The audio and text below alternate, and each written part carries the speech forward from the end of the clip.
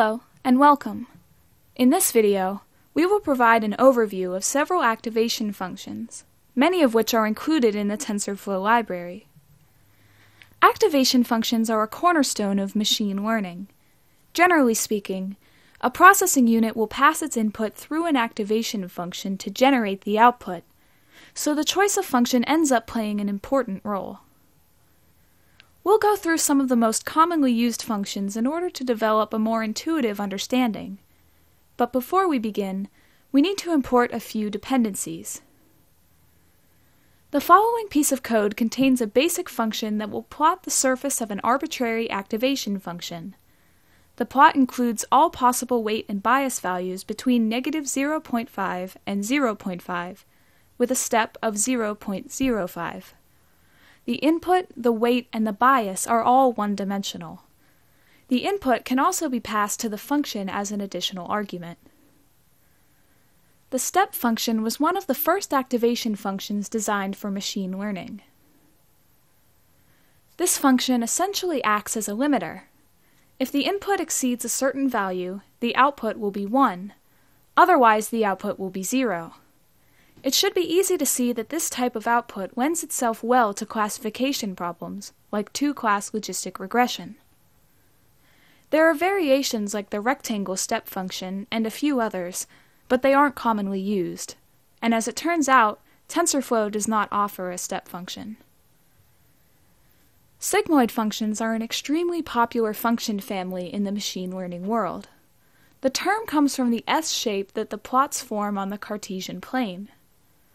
Sigmoid functions are useful because they compress the input down into a bounded interval.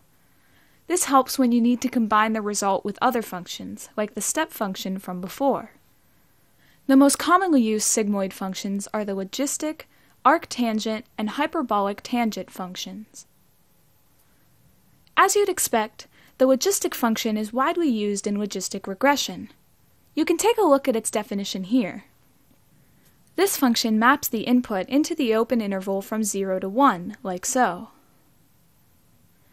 The arctangent and hyperbolic tangent functions are both based on the tangent function, as implied by the names.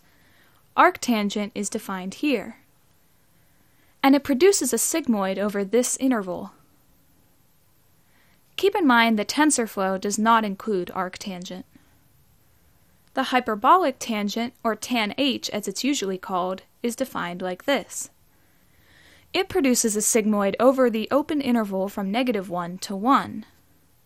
tanh is used in a wide range of applications, and it's probably the most popular function of the sigmoid family. Linear units form an important category of activation function by combining the best concepts from step and sigmoid.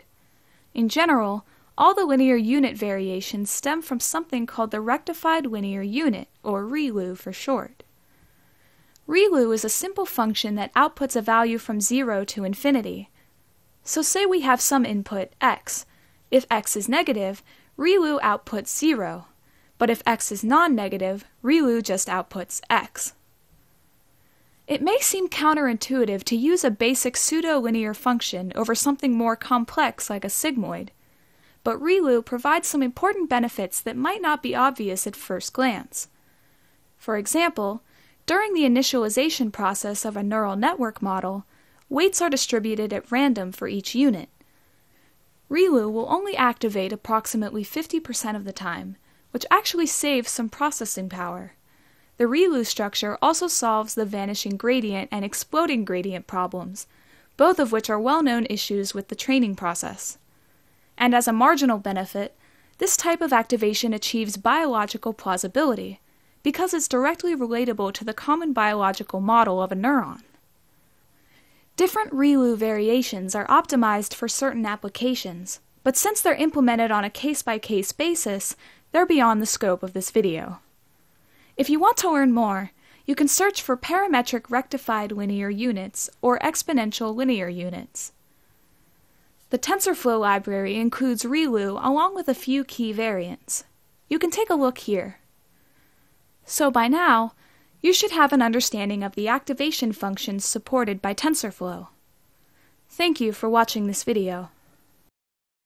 To practice and learn more, go to the lab and run the code for yourself.